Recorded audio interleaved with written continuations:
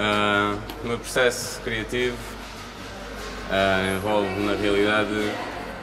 o viver do espaço e, e, e, e o ouvir e a experiência que é conviver com as pessoas que nos rodeiam e, e com as pessoas que nos encontramos e, e conectamos de certa forma na nossa vida. E à medida que nós fazemos isso, nós começamos a questionar uh, certos porquês, seja o porquê desta pessoa estar a agir assim ou o porquê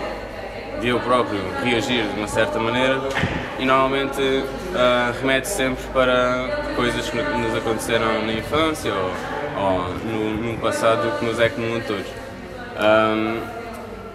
eu pego nessas memórias uh, que eu tenho, seja, sejam memórias traumáticas, sejam memórias uh, belas, uh, com certo